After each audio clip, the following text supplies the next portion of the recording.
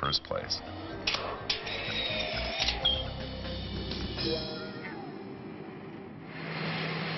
We're going to uh, England, and we go to China right afterwards. Uh, we land on Saturday morning. Saturday, Sunday evening, we take off for China. My passport is uh, absolutely full. There's not room for one more entry. The China visa was absolutely the last time I can go anywhere. there probably isn't a place to stamp it in England. There's wonderful science being done at museums and universities all around the world, but there's some fascinating stuff happening in small little villages. In Leicester, England, in this unassuming townhouse, Terry Manning is producing some of the finest science done by an individual. Terry, to me, sort of, in my mind, he conjures up all the images I have of a mad scientist. He's got these 50 embryos percolating in this mild acid solution up in his attic. What's inside are little tiny baby dinosaur embryos. It's like a little time capsule of what a baby dinosaur would look like exactly. It's wild. What do you think, Greg? I think you have this mad scientist thing down quite well. This is great. It's a three-day cycle, and over that three-day period, you'll etch away about two thousandths of an inch. So it's a it's a it's a very very slow process. Two process. thousandth of an inch every three days? Every three days. So. Uh, so how long will an egg take to uh, dissolve? Um, to take the rock away that we want to take away, um, it'll take most probably six to nine months. First of all, he's got the most amazing eggs in the world. They've been called better specimens than Archaeopteryx. Then we find out that he has egg yolk. Now we just find out he, he, he thinks he has dinosaur skin. And uh, it's 1.30 and Terry has to go bowling at 8 o'clock. So we're, uh, we're under the gun here to try to get some good stuff in a very short amount of time. It's a little scary. Um, is that the right way?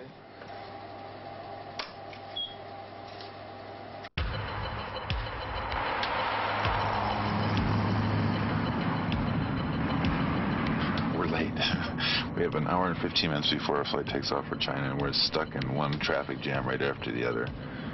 Um, that's what's going on. 10, 10.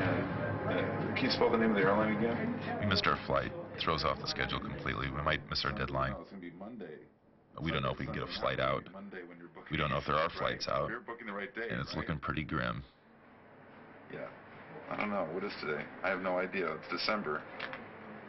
I know it because I see Christmas decorations all around. We've heard about this giant egg nest in China that's supposed to be about seven and a half feet in diameter. The biggest nest ever been found. I promised the Chinese that I would be there on time. Now we're going to be, looks like 24 hours late. And if we don't get it, we essentially don't have a, a major part of the story. It's incredibly important to get to China.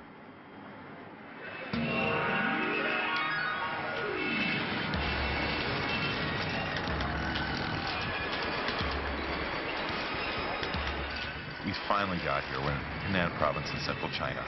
It's a thrill just to be in a foreign environment, knowing that right up ahead is this incredible, incredible specimen.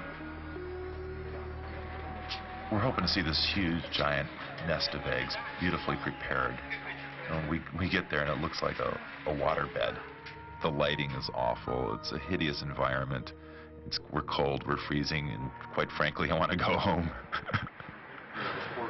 It's again, it's one of those situations where it doesn't look that good. You know, just looking at the piece, it doesn't look spectacular. It is spectacular, but we want those sort of naugahyde edges of the the nest that they've built to go away. And uh, so the way to do it is to photograph it from straight up, looking straight down. All the electricity's off in the village. It's completely out. Nobody has electricity. Um, we've managed to scavenge this diesel-powered generator, and uh, hopefully it'll give us enough power to get my, my strobes working. Uh, can, you, can you move down just about this much down? Yeah. Turn it like that. Yeah, just like this. Okay. Turn it a little more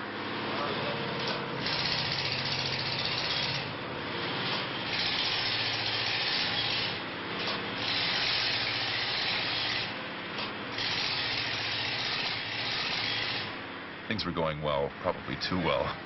Then disaster strikes. I just got a couple shots off before the generator fried my light kit. Uh, package blue. Brand new $7,000 hat. I think we got it.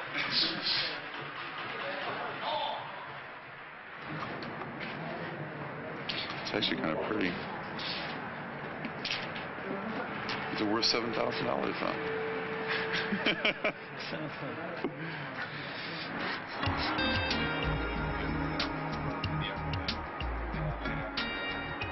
Forty-eight hours later, we're back on a plane.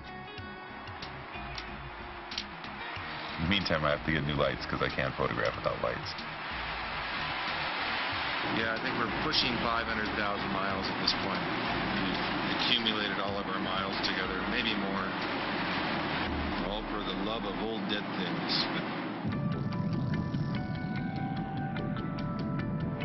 Luck has followed us to Canada. We've arrived on the coldest day of the year, through a raging blizzard. The whole trip has just become a series of pictures right now. I'm just thinking about, I have six done and I have one more to go. Like the Terminator, sort of.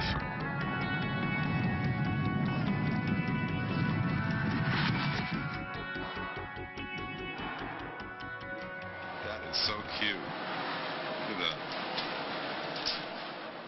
Brian Cooley is as passionate as anybody I've ever met about the subject of dinosaurs. He is a person that's able to get into a dinosaur skeleton and flesh it out And then I can break, like nobody I've ever seen before. because these aren't precious, okay? I can make another egg, Oh, really? so don't sweat it.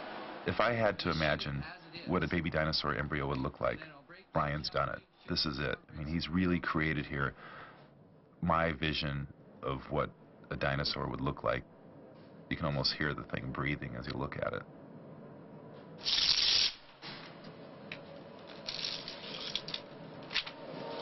I just love this. Well, it's come to the whole story has come to life for me now. I mean, all of a sudden, those beautiful eggs that are wonderful just the way they are. Now you have a shot right next to it where it just comes to life.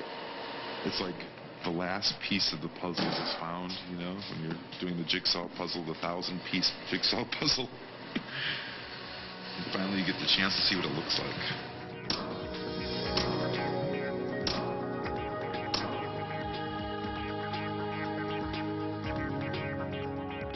In the back of my mind, I, I realized that we went through quite a bit to get this stuff in a short amount of time, and it was a heroic effort. The readers of the magazine will never notice that, and nor I don't think they should care about that. But it is a great satisfaction to actually see the work published. To me, it's more than just a, a matter of a collection of pictures. It's a legacy I'm building. I want to leave behind a great body of work that shows our natural history of the planet, and to try to get a sense of wonder to everybody of what came before us.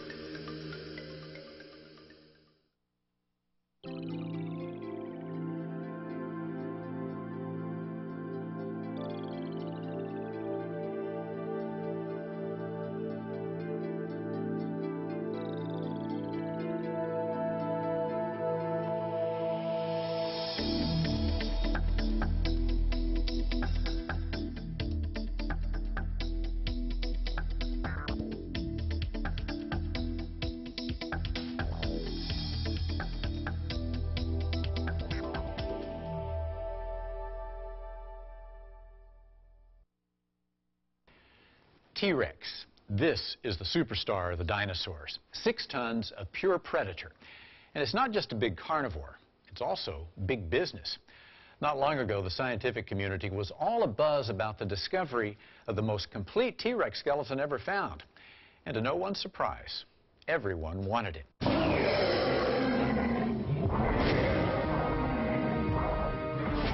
They're meat-eating marauders. Among the biggest, baddest carnivores that ever walked the earth. Animals 40 feet long, more than 13 feet tall, armed with steak knives for teeth. The Tyrannosaurus rex is the quintessential jaws of death. And an enduring mystery, since no complete skeletons have ever been unearthed. Now, a remarkable discovery is helping reveal secrets that have been buried for 67 million years. It's not just a once-in-a-lifetime discovery, it's a once-in-a-hundred-lifetime discovery, or I don't know, thousands of lives. You know, it's like I never could have dreamed of finding something so spectacular.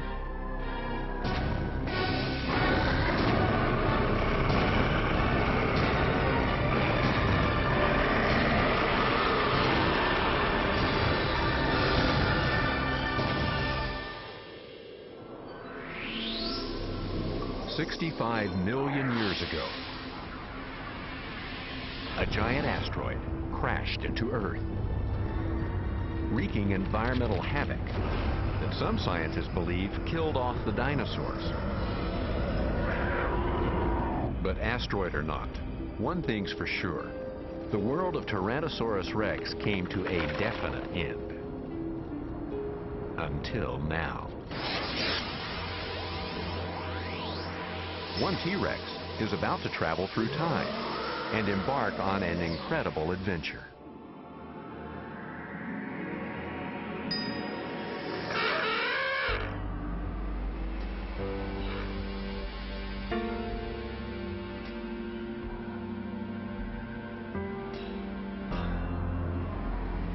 August 12, 1990.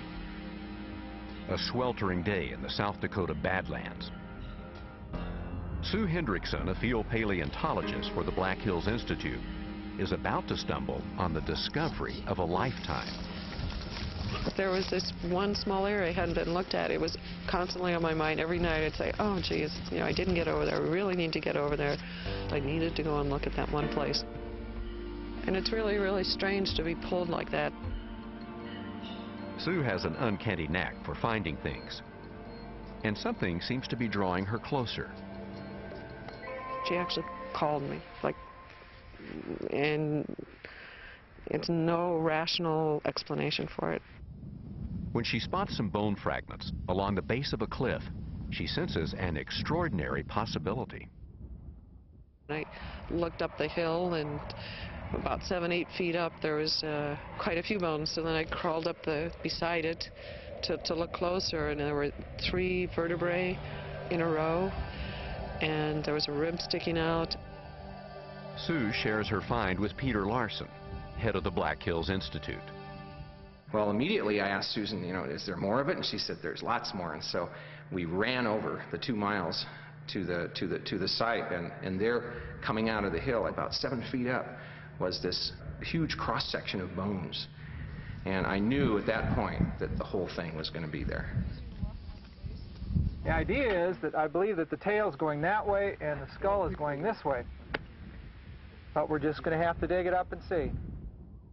It was so, I don't know, uh, the, the exact word isn't even really in the language. It was not, it was way beyond exciting. It was, it was just like climbing to Mount Everest and, and being at the top and looking around. When I found her and then while you're digging her, you know, it's like, wow, I'm the first person to see her in 67 million years. I really felt like she was meant to be found.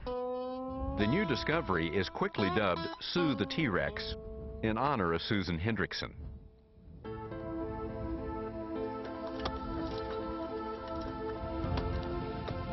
The team begins the arduous task of separating Sue from the sandstone cliff.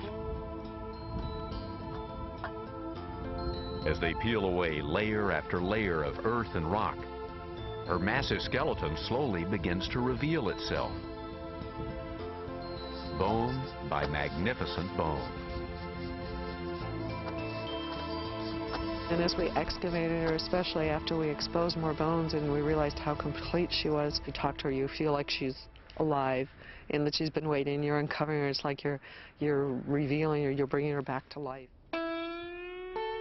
Within 17 days, she's excavated and carefully wrapped in plaster jackets for transport back to the lab in Hill City. For 18 months, lab technicians at the Black Hills Institute meticulously prepare Sue for exhibition.